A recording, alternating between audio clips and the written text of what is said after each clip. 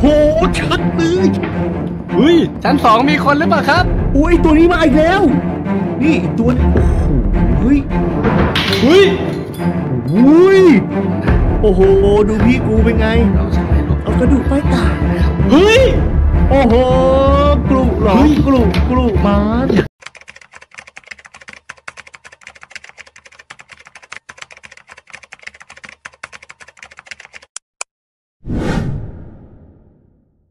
นี่ครับ นี่คือ God Dragon Ghost Fighter Thailand ครับทุกคน ชื่อคลิปปริศนา 3 โลงศพในคืน ศุกร์13 ครับ คลิปนี้นานแล้ว สถานที่นี้เป็นโลกุมาน้องทอง ซึ่งเป็นวัดกลางเกาะครับ ที่ครึ่งหนึ่งล้างและอีกครึ่งหนึ่ง ยังไม่ล้างครับ ยังมีอยู่ และเคยมีปริศนาที่เขาว่ากันว่า ที่นี่มีโลงศพ3โลงอยู่ที่นี่ครับ และเรื่องราวอาถรรพ์อีกมากมายที่พี่ก๊อตได้มาพิสูจน์ในสถานที่แห่งนี้ครับ ไม่เคยเห็นพี่ก๊อตมาโลน้องทองครับ เมื่อ 2 ปีที่แล้วครับ ทุกคนไปรับชม ขวามือมีอะไรกันโอ้โหไม้ได้วะเท่าที่เราเห็นตรงนี้น่าจะเป็นกุฏิเก่ากุฏิร้างนะครับผมนะอืมจีวรเก่านะครับผม หน้าต่างปิด หน้าต่างเหมือนจะถูกปิด ทุกบาน หุยทุกทุกคนครับ กุฏิหลังนี้น่าสนใจครับ น่าจะร้างมานานมากแล้วนะครับ ผมเพราะว่ากิ่งไม้เถาวันนะครับ ผม สุดกำแพงชั้นสองเลยครับอุ้ยนะเต็งไว้ก่อนนะเต็งชั้นสองไว้ก่อนนะครับ ผมส่งมาได้ครับ ส่งมาได้ครับคุณเอ่อวีรวีรพลส่งมา เดี๋ยวผมดูก่อนว่าผมขออนุญาตแล้วหรือยังช่อของไทยนะ ได้ทุกจุดทุกโซนครับนะเฮ้ยทุกทุกๆท่าน นั่งรอเลยครับ เดี๋ยว เราเจอกับเจ้าที่เฝ้าทางแล้วครับผมแป๊บหนึ่งนะ เหมือนมีอะไรบางอย่าง ตั้งสถิตอยู่ณจุดจุดๆนี้นะครับผมนะ ขอสัมภาษณ์หน่อย ได้ไหมนะ เราไม่เล่นไม่แตะดีกว่านะครับผมนะ นะ ไปต่อครับทุกคนอุ้ยรอด ปู่รอด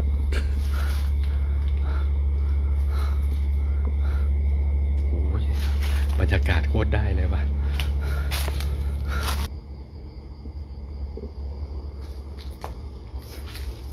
สวัสดีครับ อ้าวสแกน โอ้โห ชัดเลยคลิป อีกแล้วเป็นขาเลยครับ ทุกคนเข้าอยู่ในกล้องครับ ผมก็สต็อปไว้ก่อนเลย ก่อนที่จะ VAR ครับ เป็นขาเลย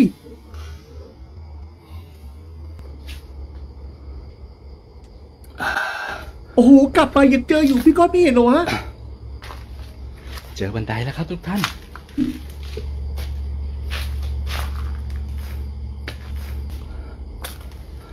อุ้ยบันไดพังครับทุกคน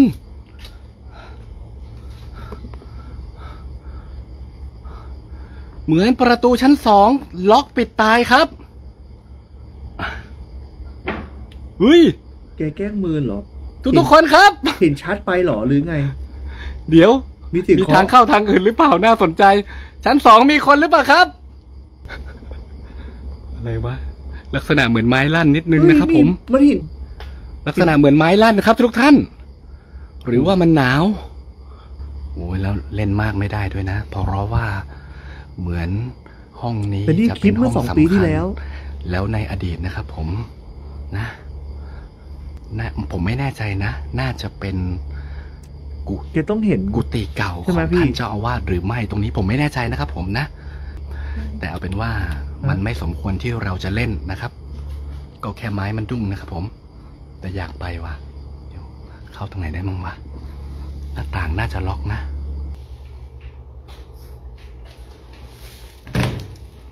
ไม้อัด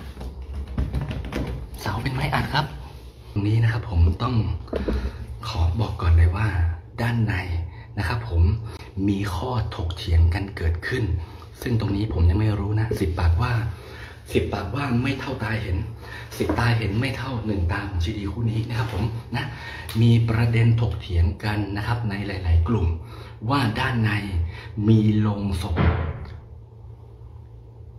ผมคิดว่าพี่ก๊อต พี่ก๊อตไม่ทันได้สังเกตจะสิ่งดังเฮ้ยนะเมื่อกี้สิ่งดังทุกทุกๆคนครับ สวัสดีครับ มันจะเขียวให้เลยนะอ่าบรรยากาศเปลี่ยนเลยครับทุกคนนะ ไปครับสุลกุยอันโตสุดยอดเฮ้ยข้างในมีหนูแน่นอนครับอ้าวทำไมอะแป๊บหนึ่งเหมือนเสียงคนวิ่งครับ หนูบอกว่า อินฟราเรดอุ้ยตัวนี้มาอีกแล้ว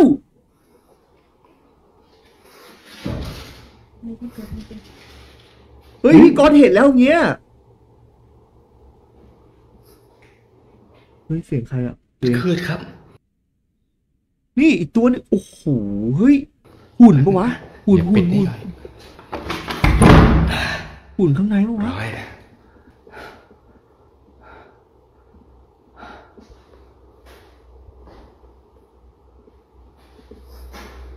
ฮ้ยที่นี่เฮ้ยทุกทุกๆคนครับ ที่นี่เอาเรื่องว่ะ ตู้เซฟครับแป๊บหนึ่งนะ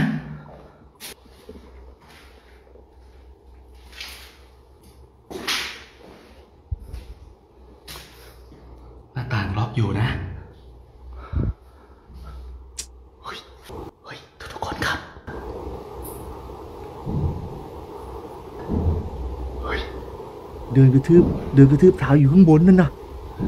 เฮ้ย เฮ้ย ข้างบนตัวอะไรวะ ทุกคน ข้างบนตัวอะไรอยู่วะ ไม่รู้สินะ นะครับ ไปต่อดีกว่าครับทุกคน นะเออเออเออเออ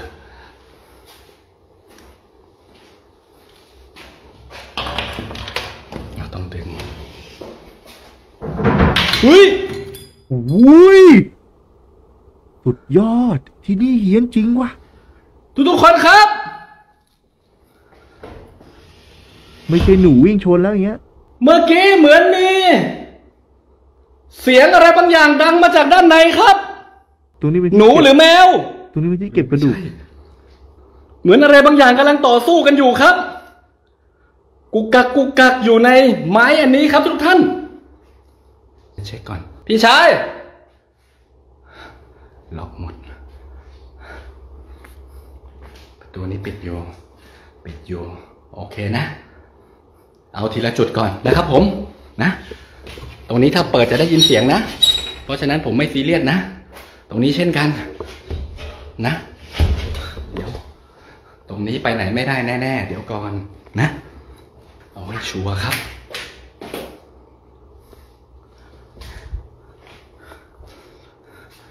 ติดลูกกรงเหล็กออกไม่ได้แอะอย่านะ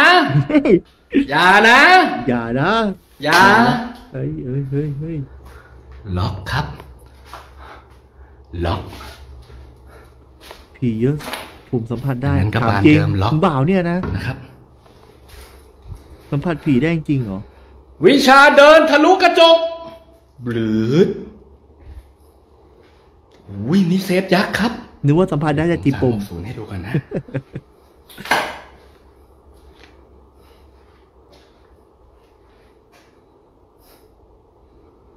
เซฟยักษ์ครับทุกท่าน เออว่า เฮ้ย ทุกทุกๆคนครับ เดี๋ยว ถ้าเกิดว่า เรามองเผินๆแบบไม่เก็บรายละเอียด คือโลงศพเลยนะครับผม เออ แต่ทำไมมันยาววะ มันยาวกว่าโลงศพธรรมดาขึ้นมาอีกประมาณสัก น่าจะประมาณคืบสองคืบครับทุกท่าน อันนี้ผมเพิ่งมาที่นี่ครั้งแรกเลยผมก็ไม่รู้เหมือนทุกๆคนเฮ้ยนะข้างหลังพี่ก๊อตแต่เหมือนโลงศพจริงๆครับทุกคนแบบนี้นะครับขนลุกเลยเมื่อกี้เหมือนมีหน้าคนอยู่ข้างหลังพี่ก๊อตขยับพื้นที่นิดนึงอุ้ยทุกๆคน ของเก่าทั้งนั้นเลยครับ เดี๋ยวแป๊บหนึ่งนะทุกๆท่าน ผมขออนุญาตปรับโหมดก่อนนะครับผมนะ ขอแบบเคลียร์ๆเลยดีกว่า เออ สบายตาเลย อุ้ย โคตรได้เลยครับทุกคน บางอย่างก็ไม่สามารถที่จะแตะหรือเล่นได้นะครับผม สวัสดีจ้า ลักษณะเหมือน เดี๋ยว สายสิญจนมาจากไหน มาจากด้านบน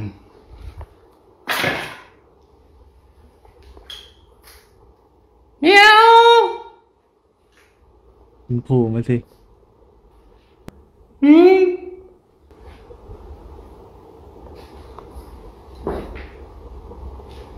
อืม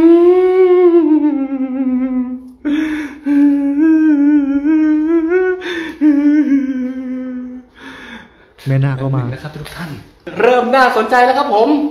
ไปกันต่อครับ แป๊บหนึงนะ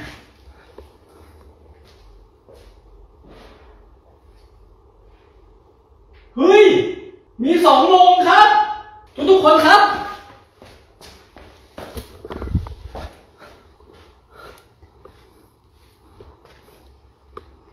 มีเหมือนตรงนี้อีกอันหนึ่งครับทุกท่านโอ้นี่ของเก่าทั้งนั้นเลยครับ ของเก่าทั้งนั้นเลยครับ ผมอ่าสวัสดีครับ ส่วนอันนี้ อันนี้ อัฐิอาที่เหรอเนี่ย อันนี้อัฐิแน่นอน ไม่แน่ใจว่าของใครนะครับผม โอ้โห เฮ้ยนะ ขอไว้กันอย่างนี้เลยเหรอ แล้วพี่ก๊อตก็หยิบครับทุกใช่คจนริงๆด้วยครับทุกท่านนะครับผมผมไม่แน่ใจว่าคืออัฐิใครนะครับ แต่ที่แน่ๆถ้าอยู่บนโกดนี้อุ้ยอยู่โอ้ในโหโกดนี้นะครับผมและข้างหลังพี่ก๊อตตั้งนึอกยู่บว่านนี้อะไรต้ก็องแล้วเป็นของบุคคลที่มีความสำคัญแน่นอนนะครับผม เพราะฉะนั้นผมจะเป็นไฟขอเอาเลิกเอาใช้ก่อนนะครับผมนะ โอ้โห ดูพี่กูเป็นไง เราจะไม่ลบหลู่ เราจะไม่ท้าทายนะครับผมนะสุดจัด เราแค่เอากระดูกไปตา เอเลิเอใช้นะครับอะไปต่อครับ แล้วโอ้โห ผมก็จะปิดไว้อย่างเดิมนะโอเค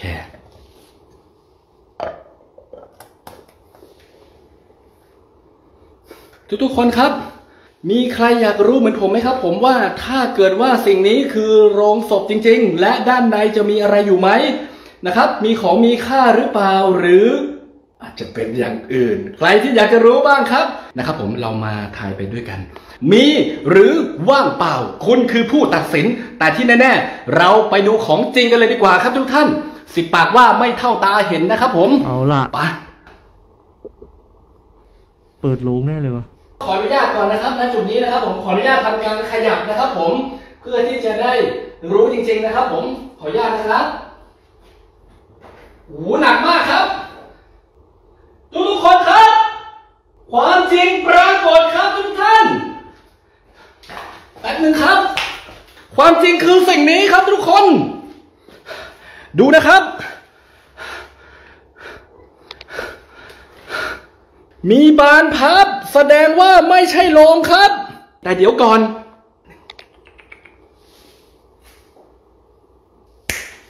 ใครคิดเหมือนผมบ้างครับ ไม่แน่นะครับผม การออกแบบตรงนี้นะครับผมทฤษฎีข้อที่หนึ่งนะ อันนี้ผมขออนุมานก่อนนะ อาจจะออกแบบให้ดูเหมือนโลงศพจะได้ ดูแล้วน่ากลัวหรือดูแล้วขัง หรืออาจจะได้ดูแล้วมีแง่คิดคำสอนแฝงดูเพื่อให้ปงนะครับผมเพื่อที่ด้านในจะได้เก็บอะไรต่อมีอะไร แล้วปลอดภัยปลอดภัย เพราะบางทีถ้าคนเห็นเป็นเหมือนโลงก็จะไม่ค่อยอยากจะยุ่ง อยากจะแตะก็เป็นได้นะครับ เพราะเมื่อกี้เราเห็นฝาปิดนะครับ เพราะฉะนั้น ถ้าเกิดอะไรก็ตามมีฝาปิด แสดงว่าต้องมีช่องด้านใน และต้องทำไว้เพื่อใส่อะไรบางอย่างนะครับ ผม ผมจะเดาถูกหรือไม่ไม่รู้นะครับ ทุกคนขออนุญาตนะขออนุญาตนิดนึงอะอันนี้แน่นครับ แน่นครับผมเฮ้ยเฮ้ยทุกคนครับ ตกใจเลยเฮ้ยเดี๋ยวพี่กู งานมาแล้วครับผม งานงอกครับทุกทุกๆท่าน เดี๋ยวเฮ้ยอะไรอะอะไรอะ โอ้โหกลุเหรอเฮ้ยกลุกลุมานอยากใหญ่แน่นเลยแบบเฮ้ยนี้น้องทองปะเนี่ยนี่ไงทีเด็ดพี่ขออนุญาตนะหนึ่งหนึ่งนับแล้ว แล้วเมื่อกี้เสียงอะไรอยู่ใต้ตู้นี่วะโอ้ย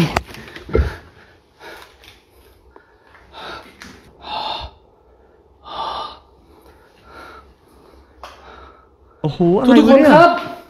อะไรอะ ไฟไฟไฟอุ้ยเท่าที่ผมดูนะครับผม ลักษณะคล้ายกับเป็นเทวรูปในสมัย สมัยขอมนะใครเหมือนเป็นเทวรูปในสมัยขอมครับทุกท่านที่เก่ามากนะครับ ผมไม่แน่ใจว่า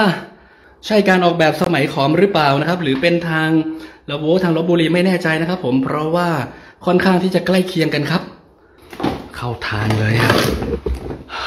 กูแต่เช็คกับท่านเจ้าอาวาสให้พี่หน่อยดิว่าเทวรูปขอมอะตรงเนี้ย ถ้าสมมติว่าพี่ขอไปบูชาได้ไหมลองลองเช็คให้พี่หน่อยนะให้บูชาได้ครับพี่เพราะว่าท่านท่านเมตตามากเลยครับโหสุดยอดกูแต่ต้องกราบขอบพระคุณท่านด้วยนะ ท่านบอกว่าเมื่อก่อนมีเยอะแต่ถูกขโมยครับได้ครับพี่หลวงพ่อเมตตามากเลย Yes! ไปต่อครับอุ้ยเอาองค์ไหนดิสององค์เลยแล้วกันนะครับผม นี่ก็เช่นกันนะครับผม ไม่ใช่โลงศพนะครับ ทุกคน เคลียร์นะ เคลียร์เรียบร้อยครับโอ้ขอบคุณครับคุณแม่สิบสิบดอลลาร์ออสเตรเลีย เฮ้ยอุ้ย แป๊บหนึ่งครับทุกคนเมียวอุ้ยเดี๋สั่ยนวสั่นแบบ คนเขย่าเลยอะสั่นแบบคนเขย่าเลยโอ้แล้วดูดิเงียบไปแล้วครับ เปิดยาก เหมือนสายสิญจนถูกประโยงคล้ายทำพิธีครับทุกท่าน เรียบร้อยครับทุกท่าน มีการถกเถียงกันเกิดขึ้นว่าคือโรงศพสามโรงนะครับผมบ้างบอกไม่ใช่บ้างบอกใช่วันนี้ ถือว่าให้เคบ่าลียร์ให้บ่าวสรุปแล้วนะครับผมมันไม่ใช่โรงศพนะครับสวัสดีครับ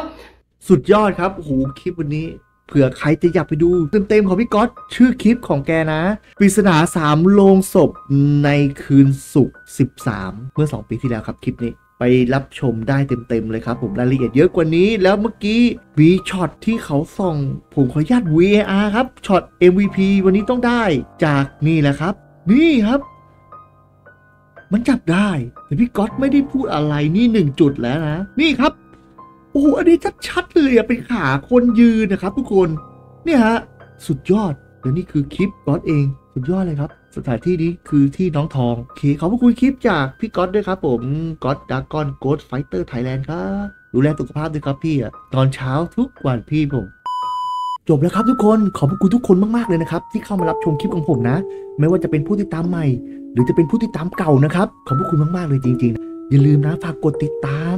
ฝากกดไลค์และคอมเมนต์แสดงความคิดเห็นกันได้นะครับ ผมจะได้เอาคอมเมนต์มาปรับปรุงส่วนไลฟ์สดของผมนะครับเป็นวันจันทร์ อังคารพฤหัสสองทุ่มครึ่งนะครับ ทุกคน ถ้าใครชอบแบบไลฟ์สดนะครับ เข้ามาให้กำลังใจผมได้นะครับ ตอนสองทุ่มครึ่งนะ แล้วเจอกันไลฟ์สดหรือคลิปย้อนหลังขอตัวก่อนครับ สวัสดีครับ